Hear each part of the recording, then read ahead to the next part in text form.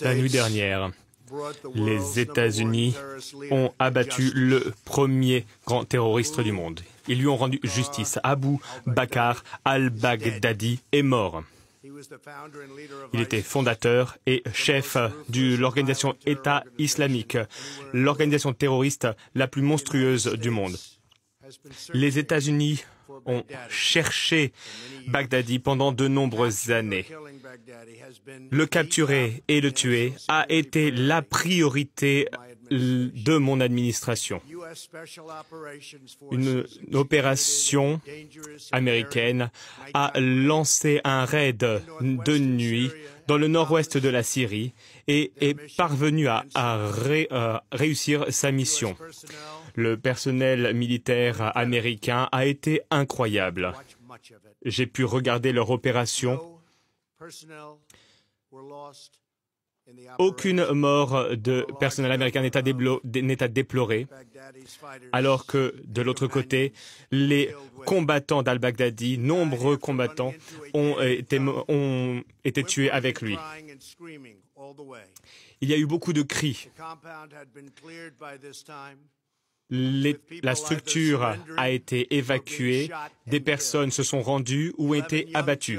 Onze jeunes enfants ont été évacués euh, de la maison et n'ont pas été blessés.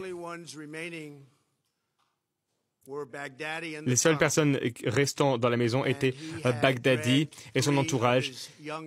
Trois de ces jeunes enfants étaient, parmi, euh, étaient avec lui. Ils ont été tués. Il a parcouru un tunnel alors que nos chiens le pourchassaient.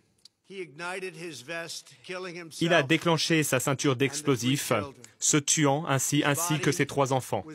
Son corps a été mutilé par l'explosion, le tunnel s'est effondré, mais les résultats euh, ADN ont prouvé euh, que c'était euh, bien lui qui avait été abattu.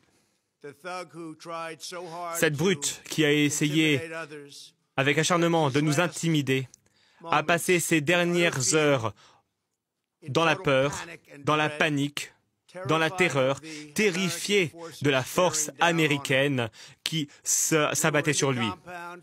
Nous étions dans l'établissement pendant environ deux heures et après euh, la mission applaudie, nous avons récupéré de nombreuses informations, de nombreux renseignements liés à, euh, euh, à Daesh, à leurs prochains plans, à leurs projets, des choses qui ont beaucoup de valeur pour nous la mort de Baghdadi prouve une chose, que les Américains se battront toujours contre les chefs terroristes. Nous sommes engagés envers la défaite de l'organisation État islamique et d'autres groupes terroristes.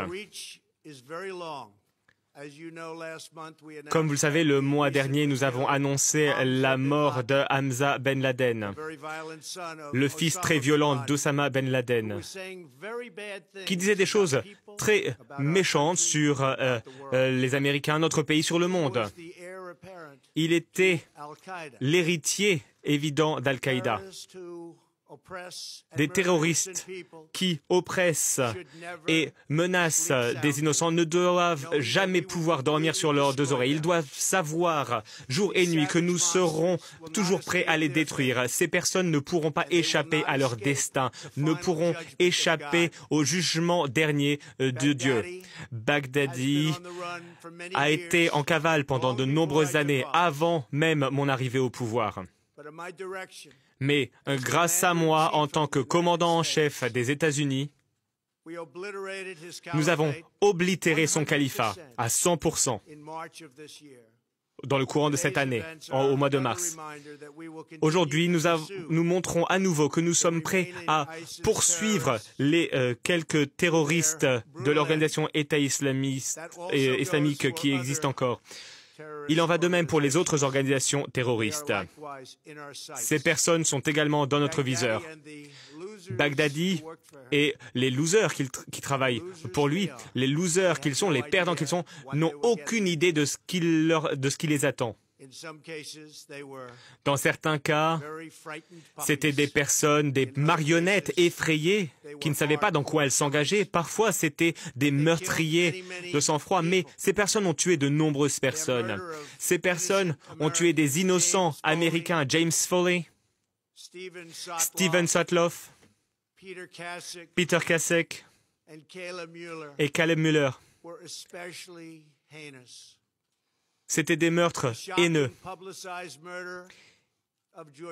Ils ont tué le pilote jordanien, un homme formidable, un jeune homme formidable.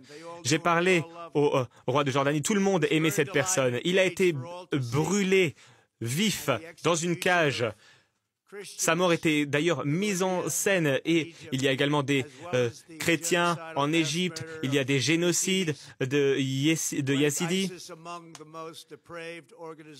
On voit donc que l'État islamique est une des organisations les plus monstrueuses euh, que connaît notre histoire. Des conversions euh, religieuses forcées, de nombreuses décapitations, toujours montrées dans des vidéos au monde entier.